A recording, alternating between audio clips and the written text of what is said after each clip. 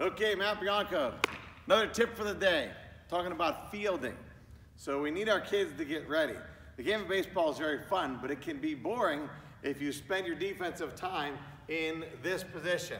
I am not ready to field a ground ball. Granted, this probably looks better than some kid who's doing this, but they're still not ready to go.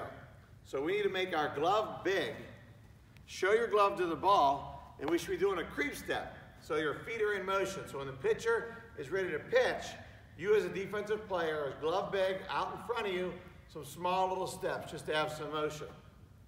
The next problem is even when I am ready, the average young player, even a high school player who's athletic, doesn't have their glove low enough, early enough.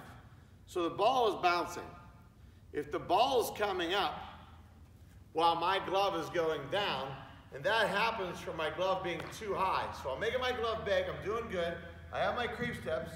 Okay, here comes my ground ball. My glove's up high and I'm trying to go down to catch the ball. It's a really hard catch. So my suggestion is get your feet moving, get in front of the ball, but when the ball is about halfway to you or maybe a little closer, your glove should be lower than the ball. We want to catch the bottom of the baseball and we want to throw on top of the ball. So I'll do my same thing. My glove will be big. I'm doing my creep steps, but I'm now going to get lower than the ball sooner so that all I'm doing is either staying down, I'll do it again, or if I need to, I can come up. But catch the bottom of the ball. Most ground balls you miss will be under your glove, but that can't happen if your glove starts on the ground. Thank you.